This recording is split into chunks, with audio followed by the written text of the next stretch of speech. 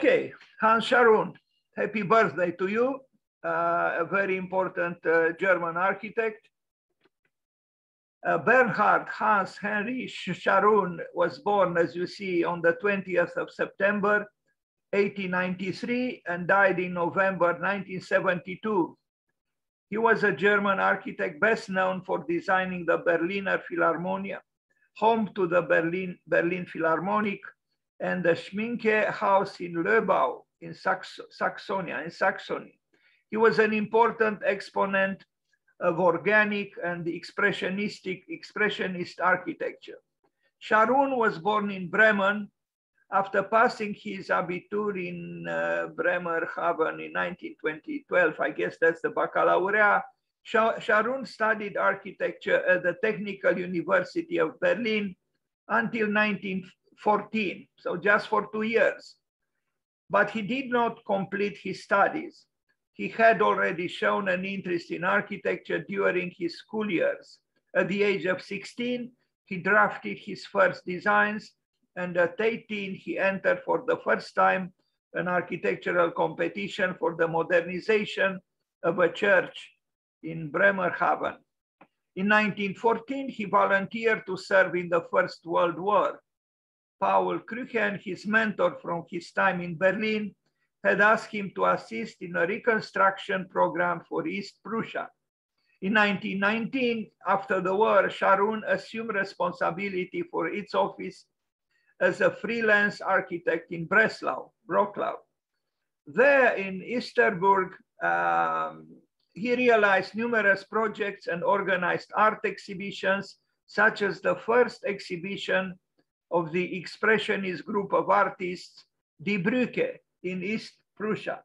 Uh, Die Brücke, uh, uh, truly a very important uh, art movement by some uh, brilliant, um, uh, brilliant artists. Brücke means bridge, the bridge. So he, he, his architecture was described in these terms, the eccentric democratic architecture of Scharoun. Usually what is eccentric is not democratic and what is democratic is not eccentric. But in his case, it seems he was able to um, uh, marry the two. Uh, this was the man, uh, an intense man, uh, and uh, smoking, smoking like uh, other famous architects. Not a cigar, but a pipe or a cigarette. And so architecture as resistance against Nazis, the challenge of Hans Scharoun. A very, a very nice title, isn't it? You know, because not all, all architects resisted the, you know, the, the influence and the, the uh, constraints of uh, Nazis, but he did. Uh, so if it was just for this, and he should be mentioned, but he did much more. And you'll see a good number of buildings built by this very important uh, German architect. There are, of course, books, lectures, exhibitions about his works, and uh, you know, major buildings by him can be seen very well in Berlin today, and not only in Berlin. Drawings. Uh, he drew in an exalted way. Uh, there is indeed uh, expressionism. His architecture, the built architecture, is not as wild as his drawings. But his drawings do say something about Hans Scharoun, no doubt. Uh, an aspiration, a dream, sometimes maybe even a nightmare. Uh, they, they express uh, feelings which are intense and uh, which he didn't want to hide away from. Uh, at that time, there were other German architects who expressed themselves in, in, in similar ways. But the, the, the drawings of Hans Scharoun, uh, like those of Hans Poelzig or uh, Bruno Taut, um, have this uh, uh, exalted um, quality, which makes them stand out, so to speak.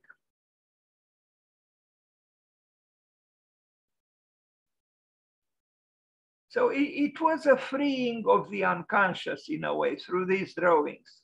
I'm sure they realized that such drawings are not easily realizable, implement, they're implementable, but they still made them because they expressed an inner content which needed to be expressed.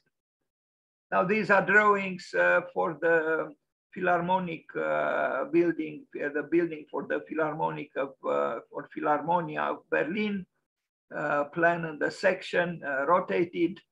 I like these drawings very much, both of them. And I like in general expressionism in architecture. And for some reason, expressionism is not very appreciated or fashionable these days. Now, a residential building at the Weissenhof estate in Stuttgart. This is a colony of um, famous buildings by famous architects that were brought together. I don't know exactly how many, maybe around 20 architects. The site plan was drawn by Mies van der Rohe. Le Corbusier was also invited and other important architects. And this is what he built. Um, you know, a remarkable building, uh, explicitly modern, uh, you know, almost uh, 100 years ago, he built this. And yes, it is white, but not only white, we see redness there. And uh, that redness says, says, says something, that, that whiteness in itself or by itself or only by itself was not enough for, um, for Hans Scharoun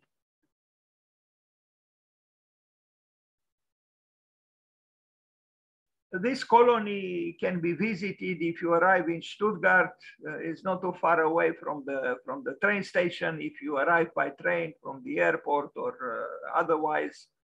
And it is a remarkable colony of um, modernistic buildings.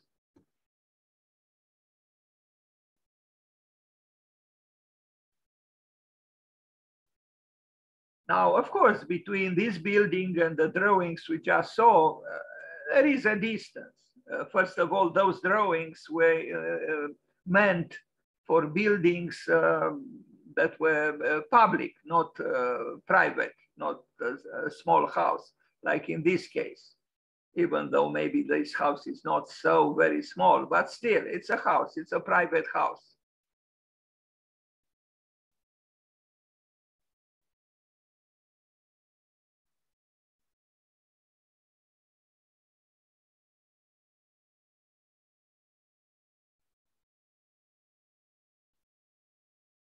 The Germans had uh, some uh, very important architects uh, and uh, uh, you know they, they are a little bit less known than they should be uh, known in my opinion.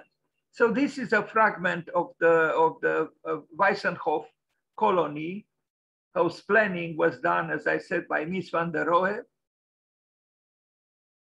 And here you see the architects who contributed to to to this to this colony Le Corbusier uh, was here, as you can see, um, and you, you see where it is um, uh, placed. There are, you know, Walter Gropius. Um, what other names do we see here? Peter Behrens, uh, Mies van der Rohe, uh, Bruno Taut, Victor Bourgeois, you know, there were remarkable out, uh, remarkable architects here, Hans Poelzig, the best of the time. Here is Hans Scharoun. This is his, uh, his building right here. So this colony uh, continues to exist in, uh, in Stuttgart. A brilliant idea to, to, to, to bring together brilliant ar architects to, to, to create each one of them a building and uh, thus, you know, to have a, a, museum in open air, so to speak, of uh, remarkable uh, buildings that try to bring in the new men's hostel for the Werkbund exhibition called Wohnung und uh, Werkraum, dwellings and workplaces, workspaces in Wroclaw in 1929. This is in Poland. And this building also shows uh, clearly uh, the exaltation Hans Scharoun was capable of when, when he felt it was needed. But his buildings are uh, both, uh, you know, uh, balanced and exalted. They don't uh, totally give themselves to the god of intoxication, to Dionysus. But this part, at least, uh, you know, does express uh, indeed exaltation. But not this part. So you see, there is a, a duality here that, that Hans Scharoun was, was, was capable of both, uh, both attitudes, a moderate one and an exalted one.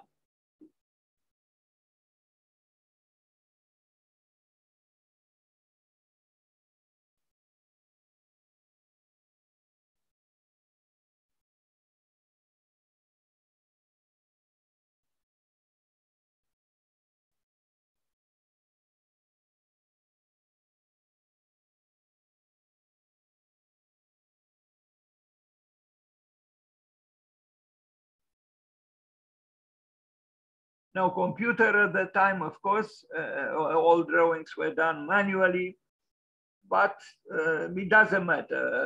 a creative uh, uh, architect can, uh, can do wonders even with the simplest means.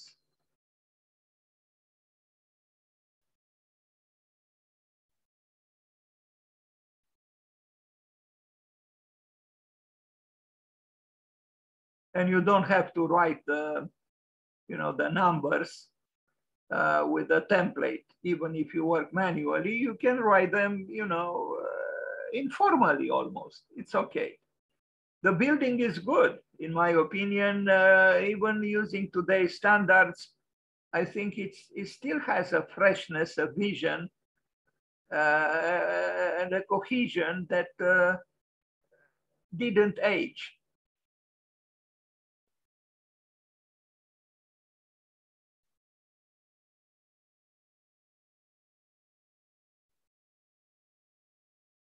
Now, apartments at Kaiserdamm in Berlin, Charlottenburg, 1928, 1929. Uh, I mentioned again that in 1928, Villa Savoye by Le Corbusier was built. So it was uh, built almost simultaneously in apartment, an apartment building, the white one that you see. And uh, again, when you think about it, that it's 100 years old, uh, you know, if you build this building today, it would be considered, uh, you know, uh, right, rightfully belonging to our time. But it was built 100 years ago. Now, of course, 100 years ago, the sky was not like it, it is shown here in this image, but uh, thanks to Photoshop, uh, all kinds of eccentricities are possible. Uh, another uh, apartment building uh, you know, uh, modernistic, optimistic in a way, uh, democratic indeed. I don't, I wouldn't really call it this one eccentric, but democratic, yes.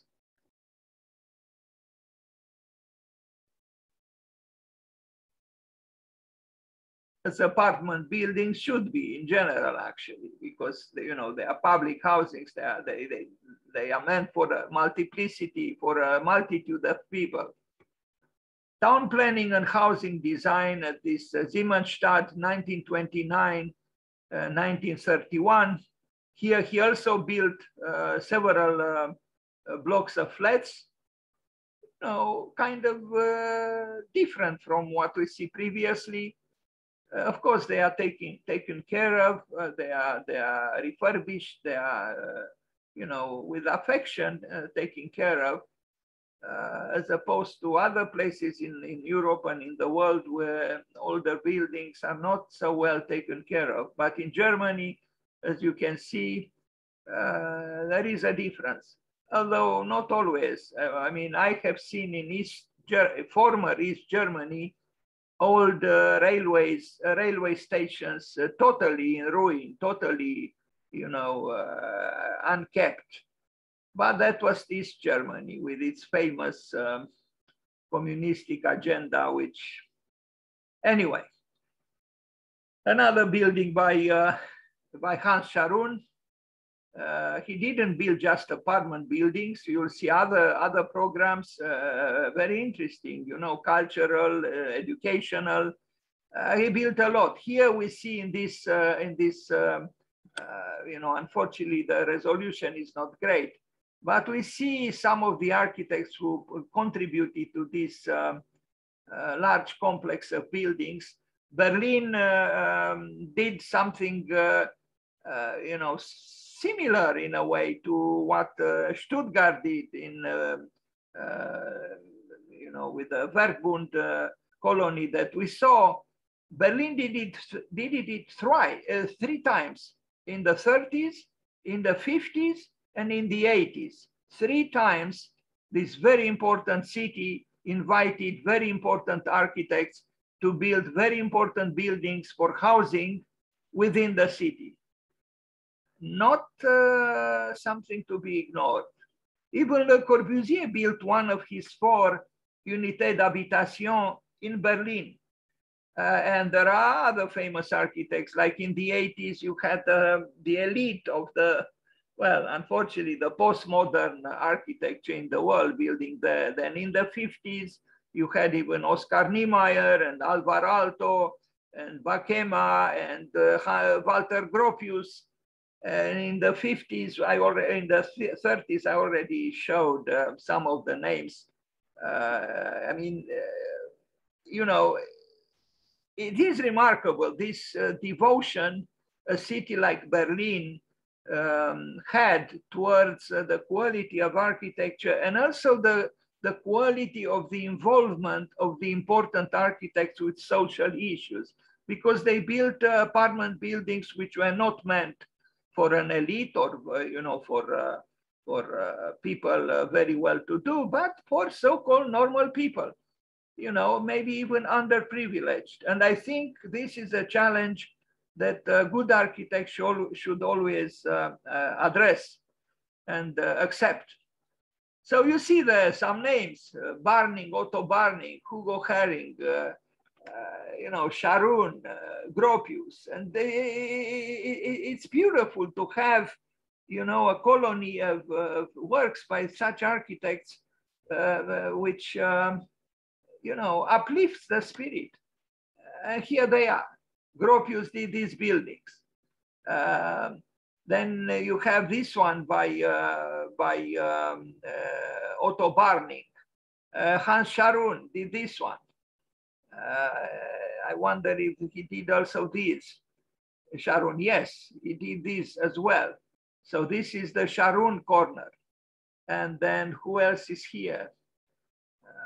Henning, uh, Hugo Häring. Hugo Häring did uh, just all of this. Hugo Häring, a very important architect uh, who had the courage to um, uh, oppose Le Corbusier at a session of the CIAM, uh, Congrès International d'Architecture, because he advocated an architecture that was not following the dogma of I don't know how many points, uh, but was a more uh, organic, uh, maybe in a way more modest, um, uh, more intimate architecture and not one born from an abstract program, be it even written by a brilliant man like, like Le Corbusier. Anyway, the Schminke house in Löbau, this is a very famous house, maybe his most famous, the most famous house that uh, uh, Hans Scharoun built in 1933, five years again after uh, Villa Savoye by Le Corbusier was built. But it's very different from Villa Savoye. And look at this. And, you know, even if you are not uh, uh, temperamentally, uh, you know, seduced by uh, expressionism, uh, here you, you, you cannot deny the value of um, expressivity and you know this expansion of the house towards the garden towards um, towards the outside.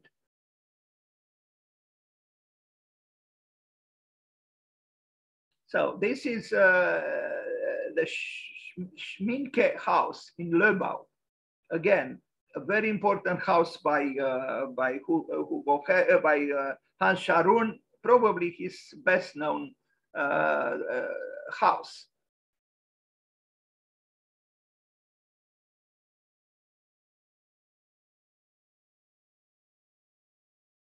Now, the dualities of his architecture are shown here too, because you wouldn't expect, you know, this image to belong together with this image for the same house, but they do. Now, of course, because of the uh, sloping uh, piece of land, this was possible, but still the surprise exists because this side of the house is rather you know, uh, moderate in spirit. It's not, uh, it's not eccentric. It's not, uh, uh it's not uh, entertaining uh, the illusion of an excessive, you know, expression of, of feelings of exuberance.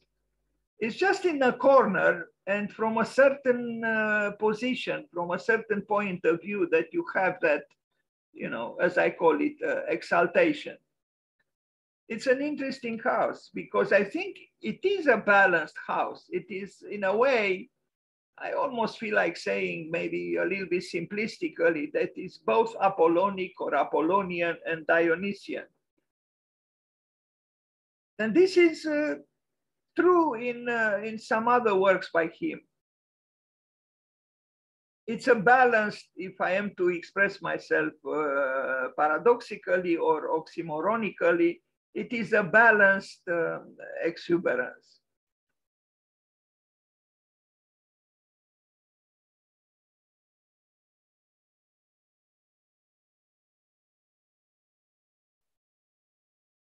It's organic, but it's not, uh, you know, uh, uh, just so-called organic it's it has a moderate expressionism, but no, no, I, I wouldn't use actually the word expressionism uh, with sufficient confidence in the case of his architecture.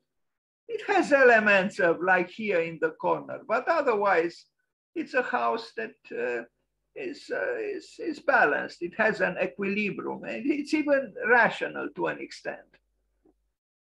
But there are these uh, surprises even inside. Look at this, uh, look at this ceiling here, you know, uh, and he seems to like the tension between the white and the red, which in uh, European alchemy means the, the tension between uh, the masculine principle uh, red and the feminine principle white.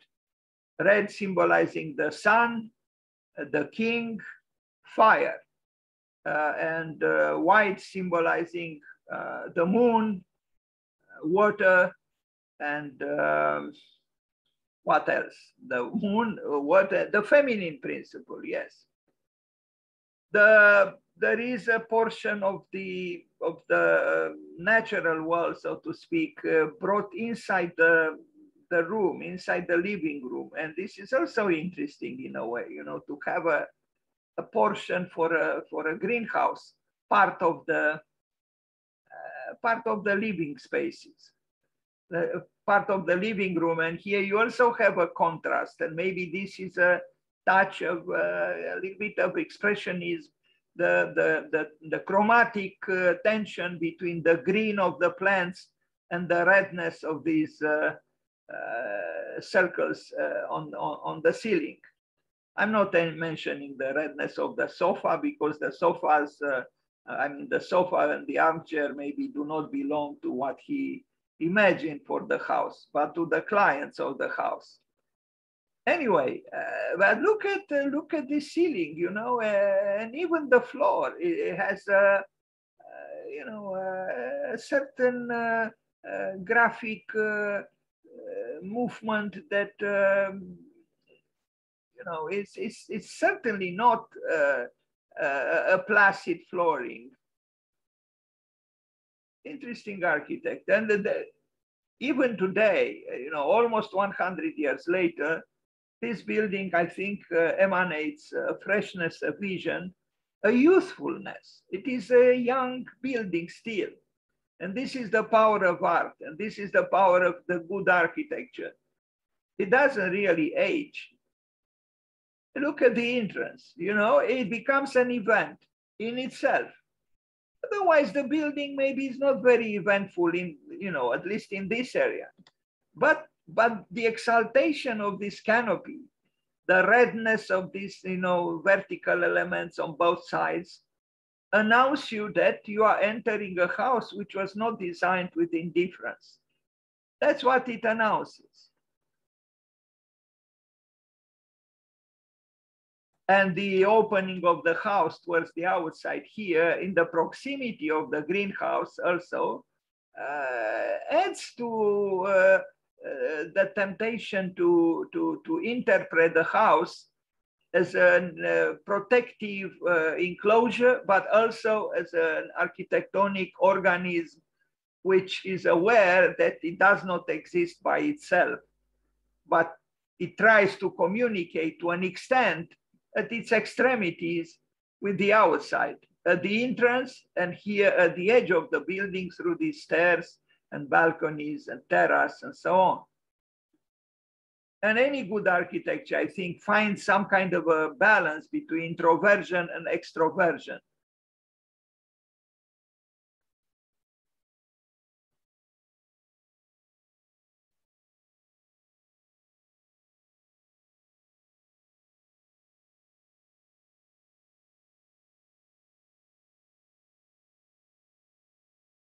Where you have a lot of glass, you also need a lot of radiators because a lot of glass means losing energy and losing heat. Uh, so you need the radiators, of course. I don't know if so many as we placed here, uh, but they are, they could also act as a handy uh, bench or a place to rest on if there is the need. Anyway, the beautiful green of the trees, which we need so badly in our world, and uh, another view of the house with the greenhouse and the entrance, and the plan, uh, the second floor,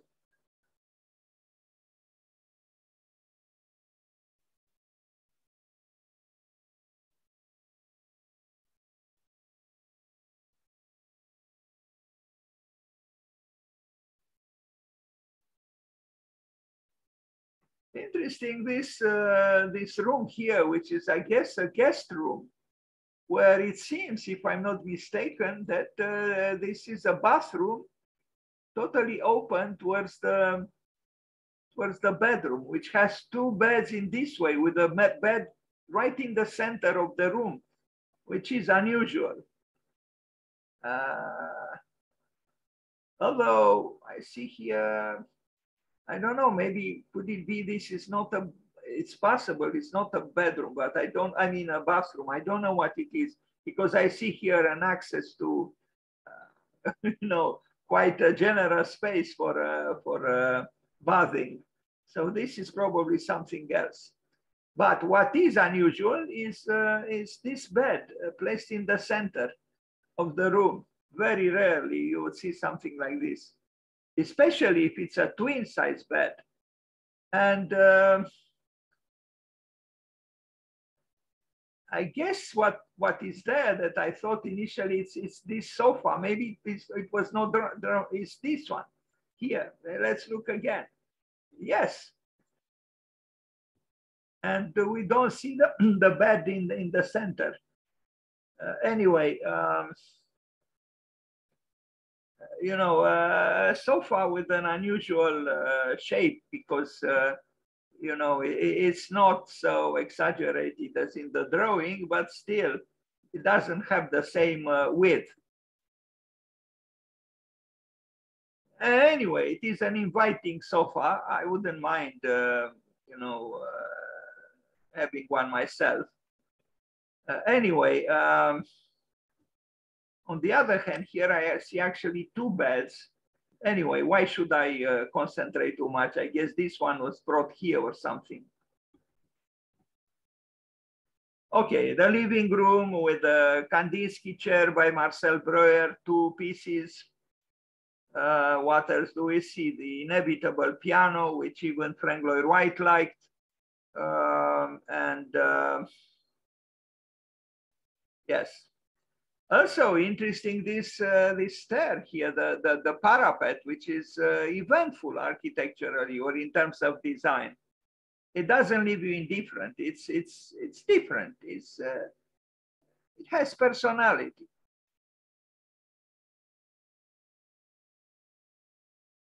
And again, touches of redness with uh, you know preponderant uh, whiteness around.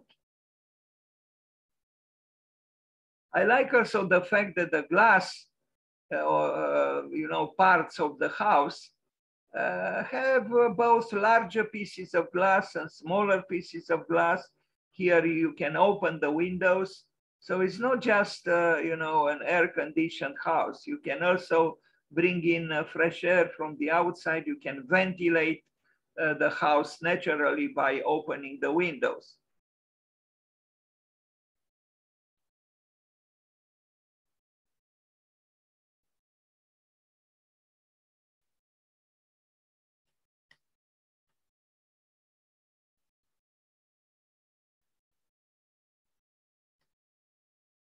Now, another house in Berlin, Spandau from 1935. Uh, here we almost see a certain uh, attempt to negotiate between what we call tradition and one, what we call innovation, because there is a sloping roof.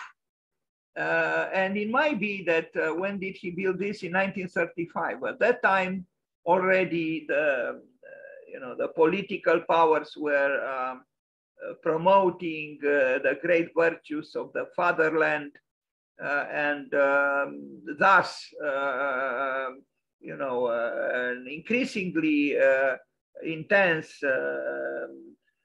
interest in, in so-called the tradition of Germany, the, you know, the, even the vernacular architecture of Germany and so on.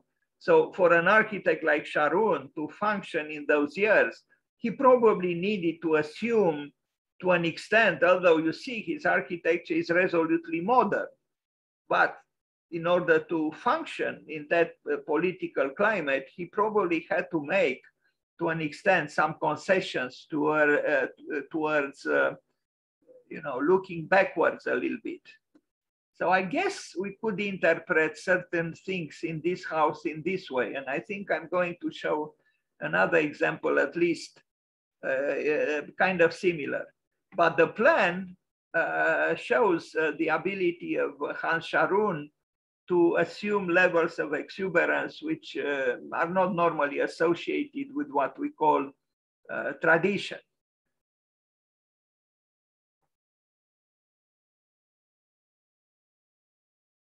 So he designed, we have seen um, the public housing by Hans Scharoun.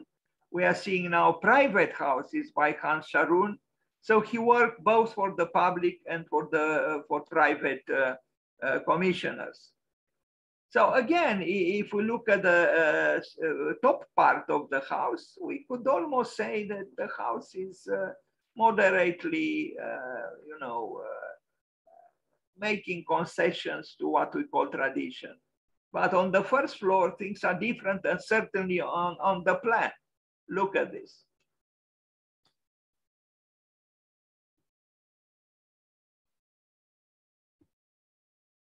And in the model, model, this is seen even better because you wouldn't expect to have this image uh, looking at the plan and looking at the first floor. But the top part indeed, I think, shows a certain uh, uh, attempt to not infuriate perhaps the spirit of the time, uh, which was uh, dictated by uh, those in power at the time. The Mollhaus, 1936.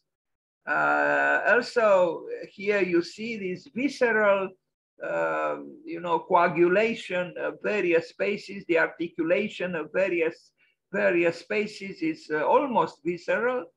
And, uh, uh, you know, this is, this is not done now and it was not done then very often.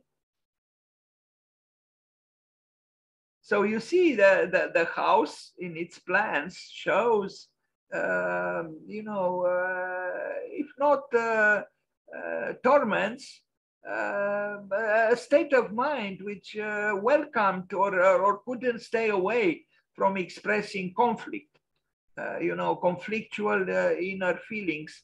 Uh, and it's here we could talk about expressionism to an extent. that there, there are tensions here in the plans of the house. In the section, as I see again at the top, the top seems to uh, try to pacify the, the, the agitation beneath. Sorry for the resolution of this, uh, of this image.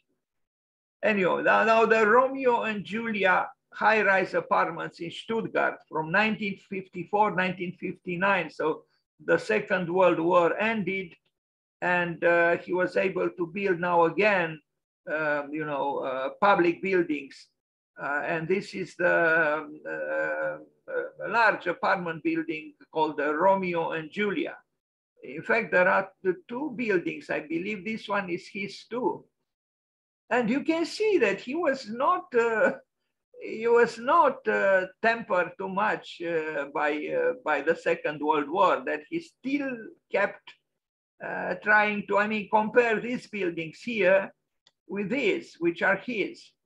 It's a big distance. No, I mean, you know, immediately after the war, almost, uh, well, 1954, 10, well, almost 10 years after the war, but still, the war, the Second World War, uh, brought a, a, huge shadow over Germany.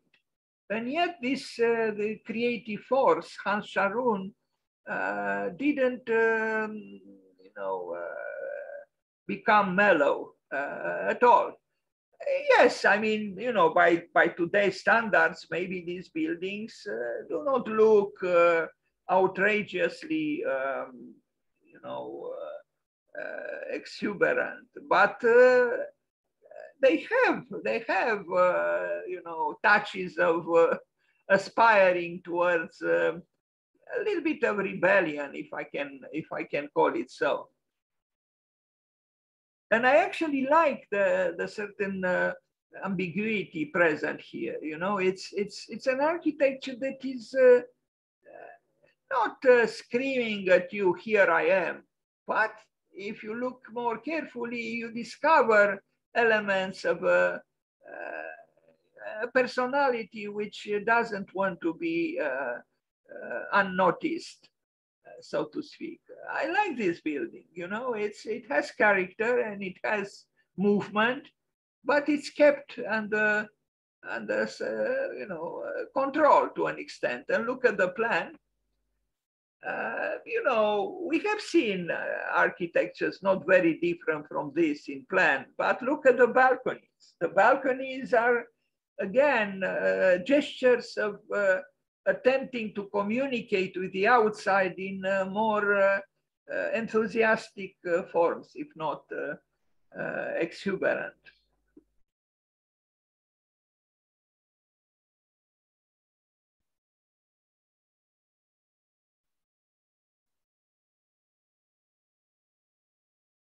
Dan, uh, yes, the good good part I, I can guess of this plan is uh, the central space. It is open on both sides, so it's not a dark dark uh, passage. Uh, if you see on the right side near the elevators and stairs, there is a there is a balcony there probably, and uh, yeah, the the other end also has a stair, so it's open. There is natural light. Uh, second thing, uh, what I noticed was when you enter, like in a hotel room, uh, the toilets are there near the main door and then uh, uh, the outside is left more to the bedroom and the uh, living room so they get the views uh, right. that's that's that's what i marked thanks thank you Vatsal. it's a good observation that um, most of the time in uh, blocks of flats you know the um, public uh, corridors within the buildings and also the staircases are not uh, naturally lit and there is no ventilation, but in this case there is, and it's true. It is important, this. A very good observation, Vatsal, thank you. So, uh, yeah, Um, so these, these, these were built after the war. You can see he also didn't, and I imagine that's how he uh, envisioned the buildings to have some color on them, which is also, uh, I would say, a, a, good thing. Although we, we have seen buildings by him that didn't say no to wideness. Now another housing development uh, in the 50s, Charlottenburg Nord. Uh, look at this plan, you know, it's, uh, it's it's alive. It's um, maybe a little bit too much, but uh, yeah, I think it, it has nerve. It has. Uh, it, it, it, it, you know it, it's not uh, it's not at all a typical uh, apartment building i even like the way it is drawn I even like this uh, scribbling here or this nervous line here. I don't know what it is. And I don't know if it belongs to him. I imagine it does. But this man drew this plan, you know, with, uh, you know, manual drawing, but uh, it's, it's, it's, it's precise and yet uh, lyrical somehow through its uh, nervousness almost. And he seems it seems he did it at once, you know, as if it bursted out of him. You know, it just uh, came out of him, this plan, in a moment of uh, revelation. Very interesting drawing, very interesting plan. It's very difficult to do something like this, you know, almost spontaneously. It seems it is done almost spontaneously.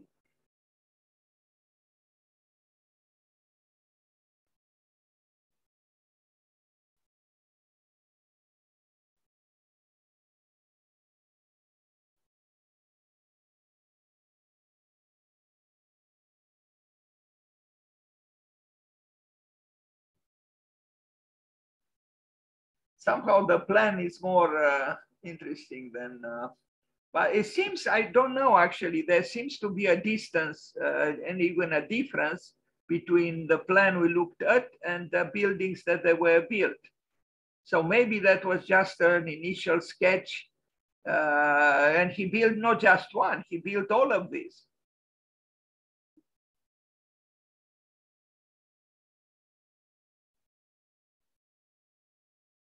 Yeah, I like more the, the plan than, than what I see here, I, I confess. Anyway, a girls' school. He built, uh, I will show, I think, two schools in this presentation, and he was very good at it. The same spirit of the plan we just saw is somehow to be found in the, in the, in the schools he built. 1956, 1962. Um, and, and look at the plan it's uh, it's it, it's a school which refuses to be uh, you know dogmatically linear. Uh, he understands the value of, uh, of uh, uh, you know privacy in a way and individuality because these classrooms are different from most classrooms in the world. Yes, there is a corridor, but once in the classroom, you you have a you have the feeling that uh, your individuality is not betrayed but expressed. And there are usually the, the public rooms, I mean, the, the, the rooms where, you know, seven, you know, a multitude of people met have special uh, uh, shapes, you know, like this amphitheater. Uh, so it is organic and it is, uh, it has uh, touches of a little bit of, uh, of a movement which might be described as expressionistic. It's a school that uh, achieves what I call multiplicity in unity. This is the model of the house of the school, uh, and uh, you know maybe at that time that there weren't too many people who were doing uh, such uh, such architectures for schools, and we are going to see pictures because it was built. Emergence of a social approach to school design, Hans Scharoun.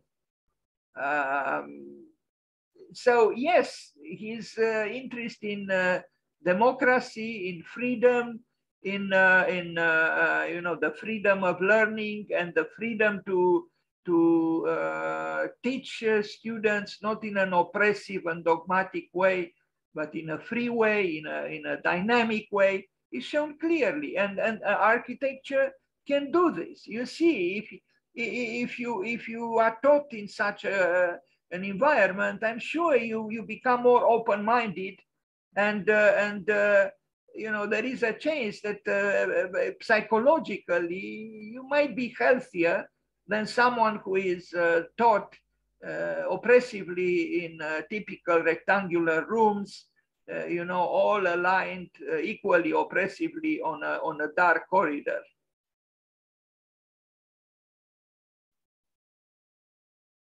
There are spaces of interaction, you know, those interstitial spaces, if we are to call them so, where people meet, children meet, they talk to each other accidentally, uh, chance encounters. These are important, very important. And look, uh, here you have the old and here you have the new.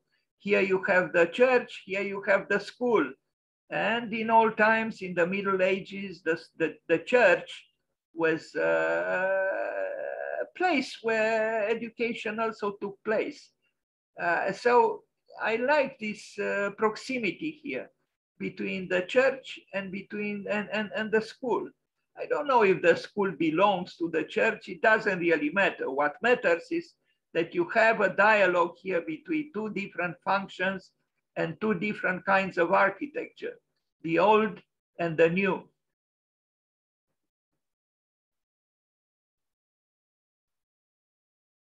And it's very possible he didn't neglect or he, he was not indifferent to the proximity of the, of the church. In fact, you can see it on the model.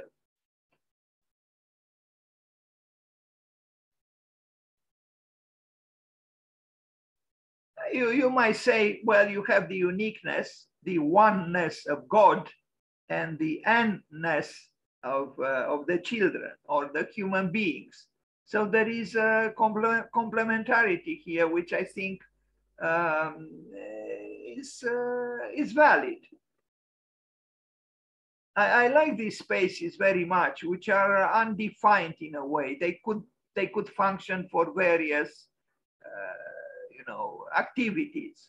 You can sit down, you can talk, you can even study. Uh, these spaces which are not, uh, uh you know, uh,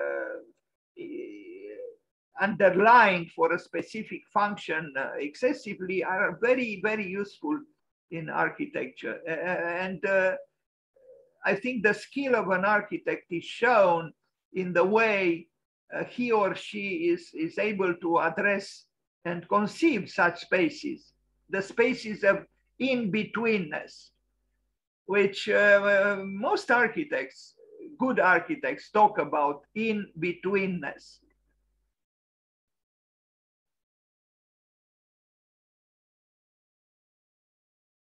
So we have here harmony through contrast. The church is done in a certain way, the school in another way, and they complement each other, the new and the old.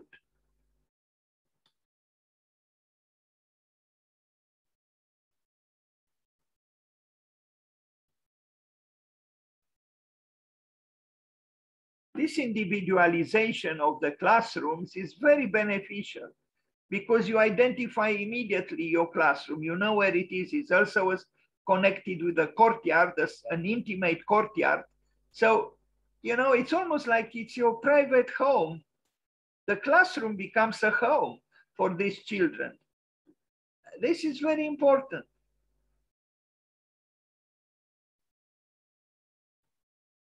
And the, the amphitheater, which because of its function to bring together a larger number of people, should have, uh, you know, uh, uh, uh an architectural configuration which uh, uh generates, which illustrates and, and facilitates interaction. Because it's the, it's the house of gathering, in a way, an auditorium. That's what it is. And this room expresses exactly this.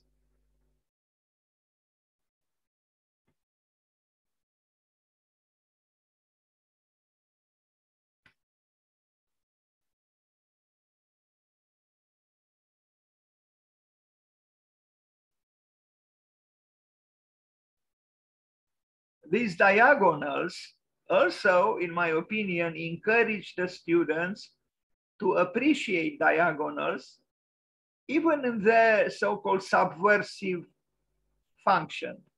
Because the diagonal, yes, is rebellious in opposition to the Cartesian system.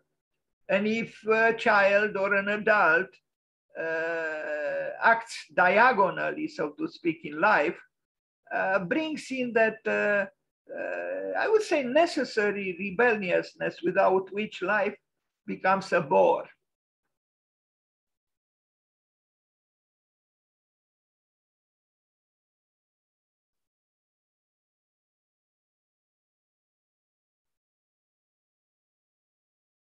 you can see each classroom has its own private, it communicates with a larger space, but it also has the chance for, uh, for uh, more intimacy. This is very unusual for, for schools, you know, to have uh, each classroom with its own, uh, uh, you know, outdoor space. That's why I said each classroom is in a way the home of the children uh, who study in this particular classroom.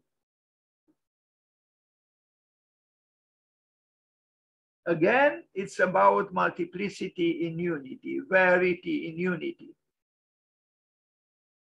A good building. Bravo, Hans Scharoun. And happy birthday to you again. Who cares? This was built, you know, 65 years ago or so. It's still uh, very valid. I wish there were more schools like this one in the world.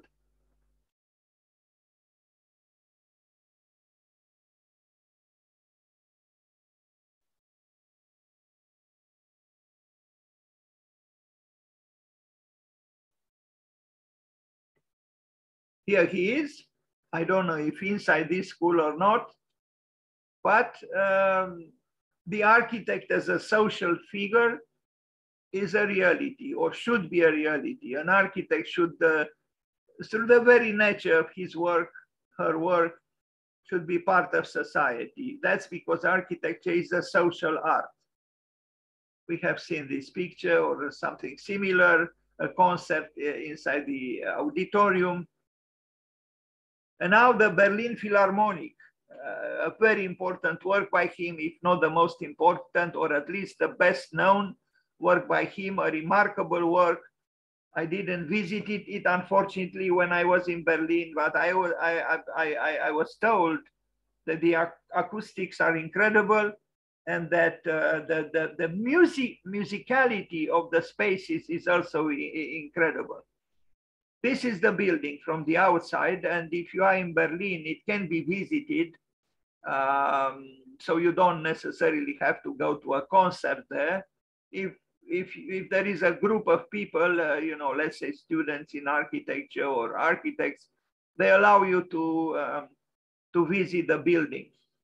It is uh, uh, uh an, an, excellent building and uh, you know, uh, it, it's it's it's it's both functional and lyrical, and uh, uh, you know this is not easy to do.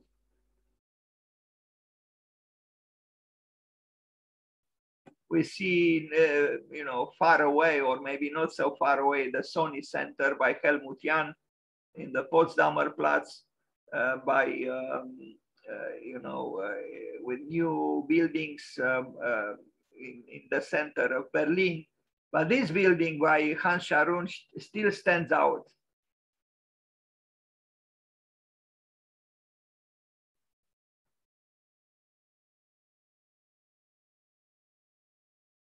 Again, his ability to, uh, to create uh, this conjunction between unity and, and, and, and diversity. And maybe that's why he's called the architect of, uh, you know, democracy. Because in a true democracy, uh, you have uh, one plus one plus one equaling three, and you do not have one plus one plus one equaling one plus one plus one, uh, nor do you have three equaling three. You have both one plus one plus one and the three. In other words, you have the unity and you also have the, the multiplicity generated by the sum of the individuals. Here, just like in the how in the in the school uh, we we looked at, there are islands of uh, you know uh, seating areas. So again, you don't belong to the typical. we have seen plenty of uh, concert uh, halls and uh, operas and so on, but here you have this variation in the landscape, so to speak.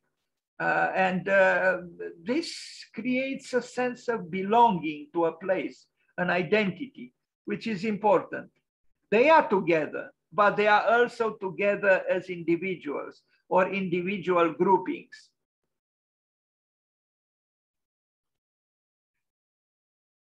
And this is also expressed towards the outside. The building has variety, but also has unity.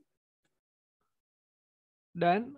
Yes. Uh, have Have you compared the interior of this one with the one by uh, Frank Gehry? Uh, if you go one slide back, probably the one by Frank Gehry uh, for Disney Disney Concert Hall. Uh, have you compared it uh, at any time? are they similar?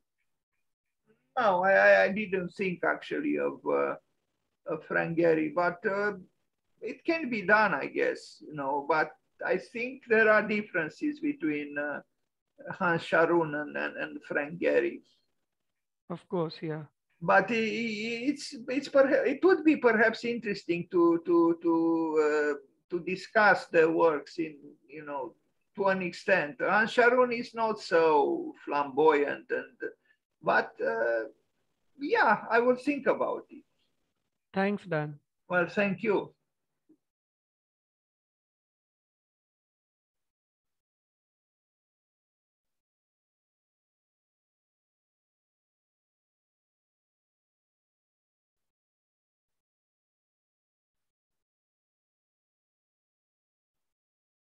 So it's not just inside the, the you know the auditorium itself, but also the spaces outside with the with the stairs, also having allowing for a certain degree of individuality and freedom. It's a very good building. And I regret I didn't go inside, although I was outside of it several times. Uh, sorry, I don't know what happened. I uh, I don't know what happened here.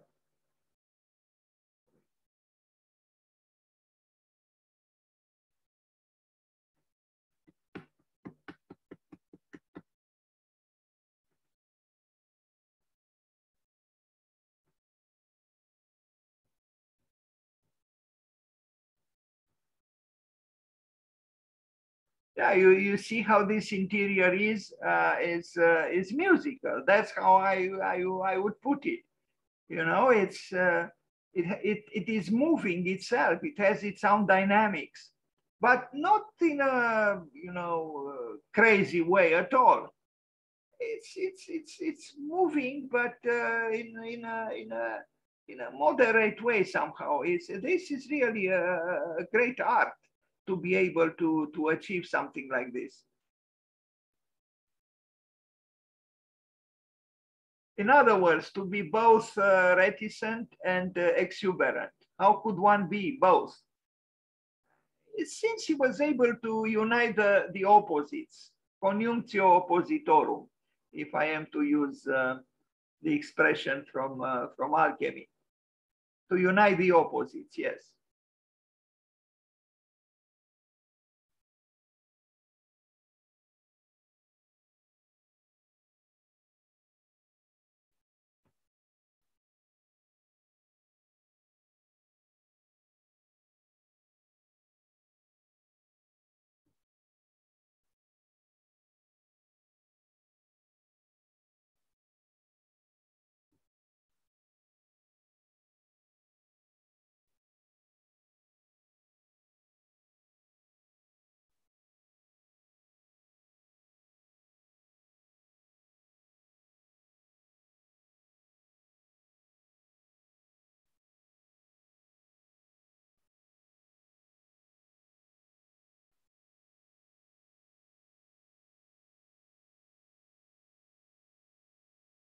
So he doesn't say no to disorder when is the case, when it's maybe necessary, if we are to call it disorder. So, you know, for example, in this plan, there is even a part which is symmetrical, like here, if you, if you trace a, an axis through here, this room is symmetrical. But then we arrive here where all symmetry is gone. And in a way, appropriately so, because this is the ground floor where people meet. And, uh, you know, it's, it's, it's really about conjunction is about, again, the house of the gathering, if I am to express myself maybe rhetorically, is where people come together. And there, you know, inevitably architecture should become itself, in a way, unstable. Because it's the instability of the human negotiations when a group of people, a larger group of people, uh, happen to be uh, together for a while.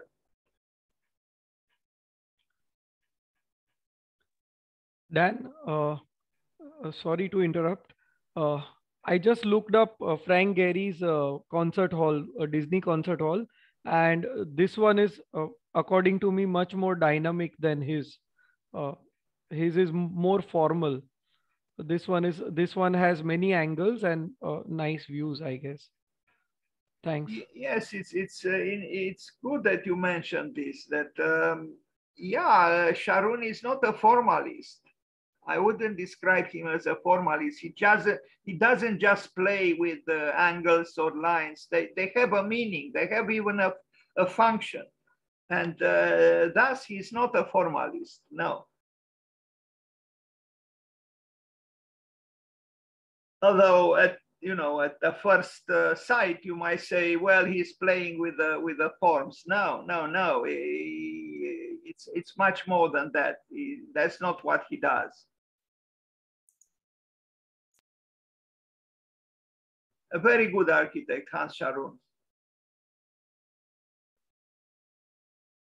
Now, Salute, high-rise apartments in Stuttgart from 1961 to 1963. Uh, and look at the plants here. You know, again, the, the, the, uh, the, the exuberant uh, balconies. These are not very big apartments. You see, they are rather small. Uh, and again, like uh, Vatsal uh, mentioned, you know, there are circulations which give access to the apartments which are connected with the outside. and this is not a little thing. And we look at the, you know, this is just a studio, but uh, it functions very well. Here is a one bedroom apartment. Yes, these are modest apartments, but modest apartments in an apartment building done by a skillful architect, a generous architect, who understood that uh, even when you build uh, not for the privileged ones, for the 1% ones, uh, you can still do architecture, as he certainly did here. There are larger apartments, there are smaller apartments, there is a studio. Uh, all in all, the pleasure of doing architecture and serving society and serving people with the best you have, I'm sure he knew something about that pleasure. In the, in the process of uh, building this building, imagining this building, and uh, uh of course, not just this building. He was not dogmatic. You know, he, uh, you can see from his plans, from his uh, built architecture, this is okay. Maybe the building is a little bit extruded too much uh, vertically. You know, it's a similar plan all the way to the top. But you know, this is uh, in most, in many cases, almost uh, the case. You know, with uh, apartment buildings. What I try to say is that maybe the the, the freedom of the plan is not so apparent uh, vertically. You know, the in section the building doesn't seem to have quite the same spirit as the plan. But uh, again, this is, uh, if not almost unavoidable, but uh, always the, many times the case. And, and as such, the building represents uh, you know, it, it's a building which uh, uh, proclaims, you know, democracy. Maybe the word proclaims is too strong. Uh, it emanates togetherness.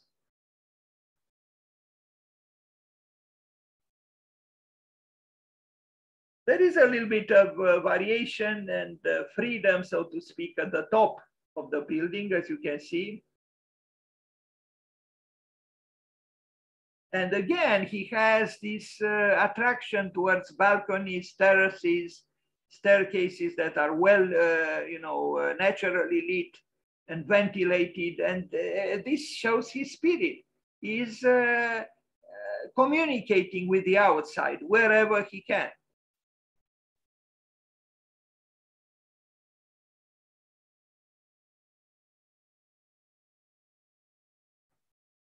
Now, uh, another school, um, let's look at uh, one more time at this uh, apartment building uh, that he built in the 60s. Now, another school, a main and primary school in Marl, designed in 1960, but completed in 1971.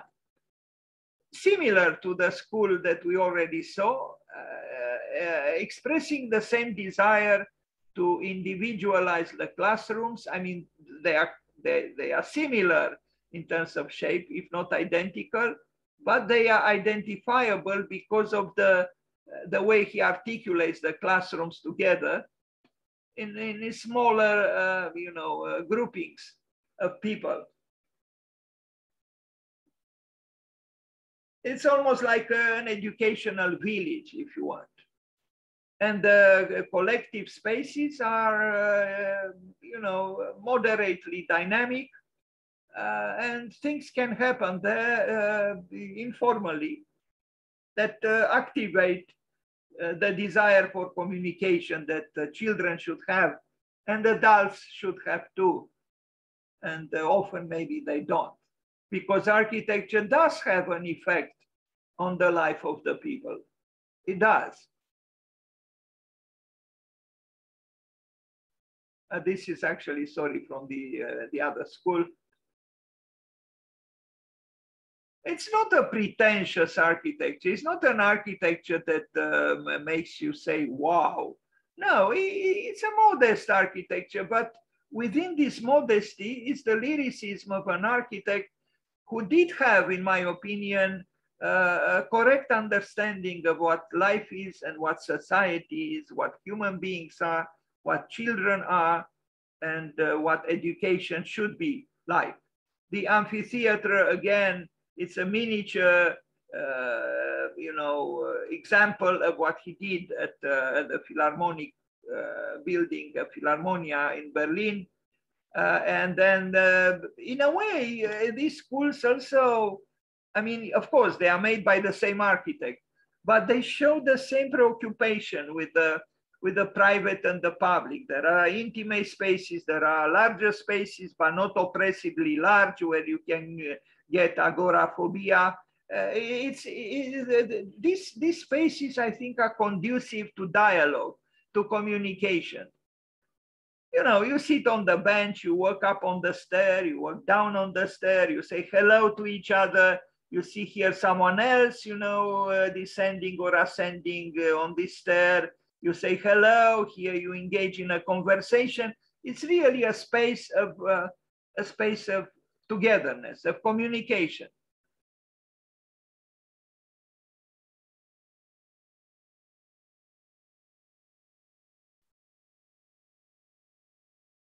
Also in terms of materials, because he uses brick, he uses concrete, he uses wood. So he's not inhibited and inhibiting.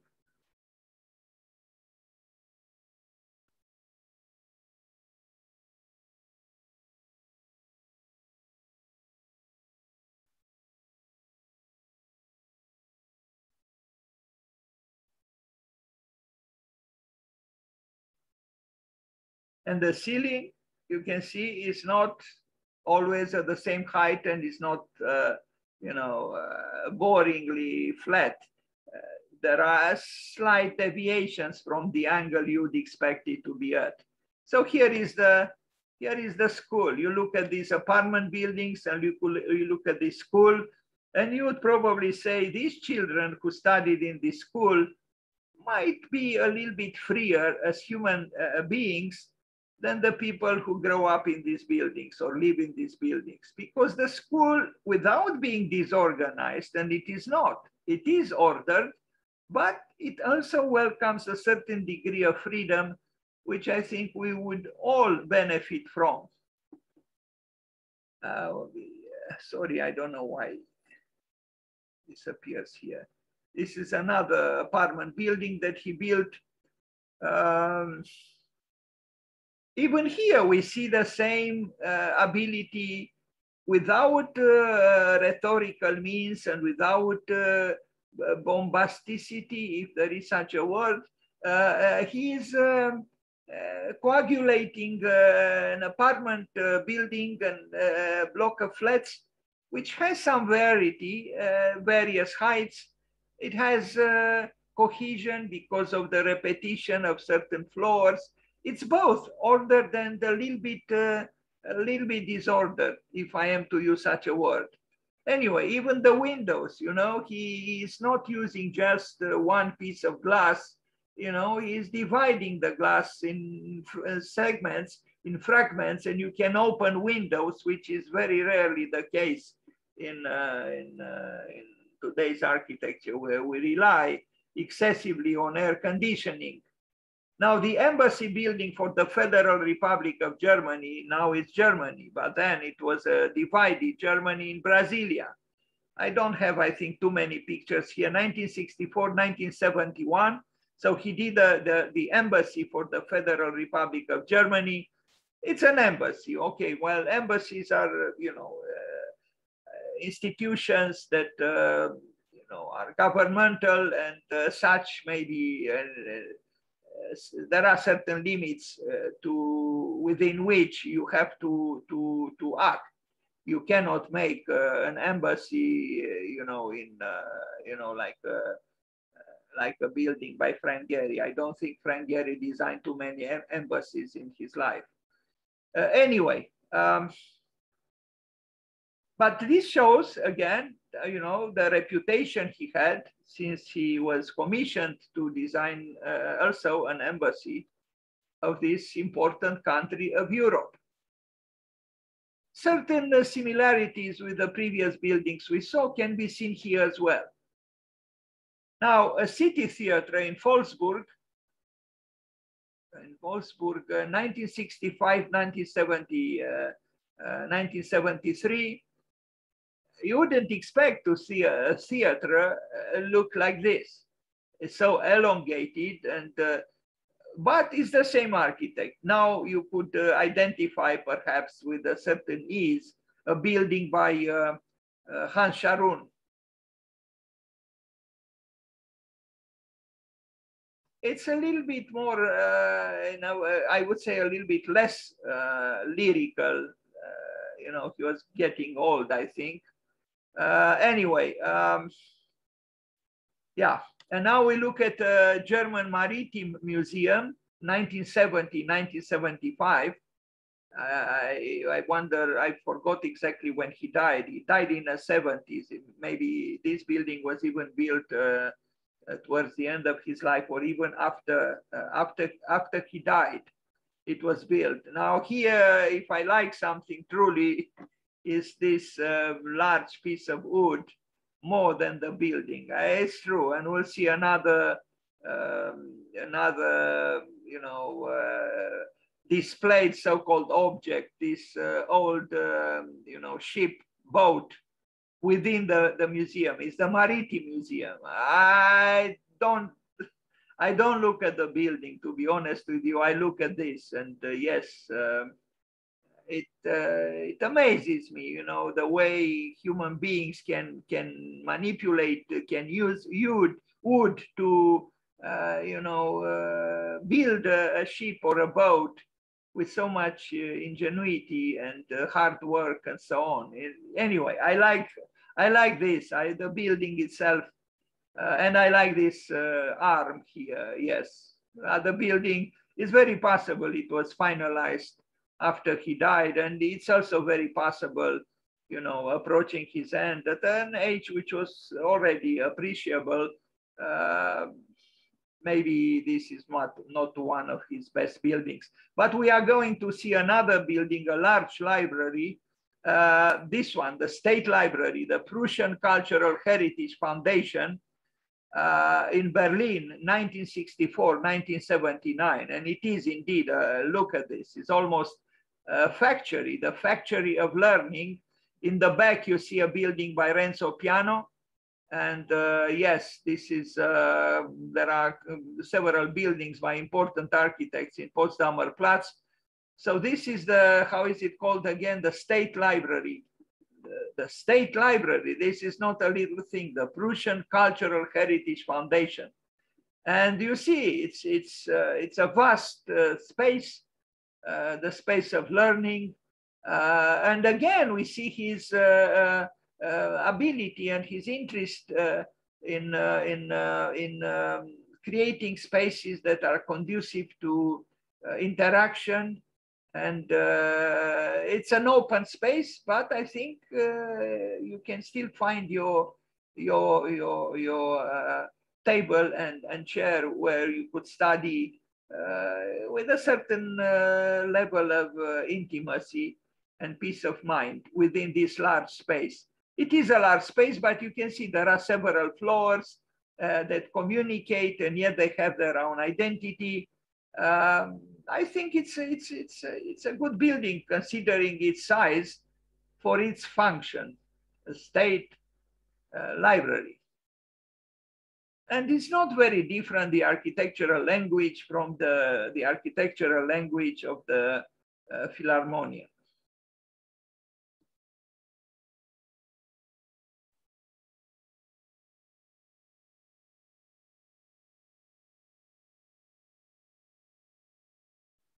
And I like the fact that circulation, stairs, uh, you know, uh, the relate the connection between various floors, all these things are are uh, somehow integrated within the larger um, coagulation of spaces.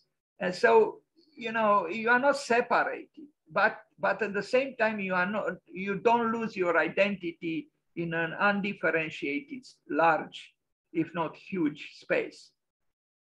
And yet it is a very large building. And it's just behind, I think this building might be by uh, Renzo Piano and all these buildings here to the left do belong to, I mean, he designed them, Renzo Piano, uh, together with a German architect. So here is uh, Hans Scharoun again in Berlin. Thank you and uh, happy birthday again, Hans Scharoun.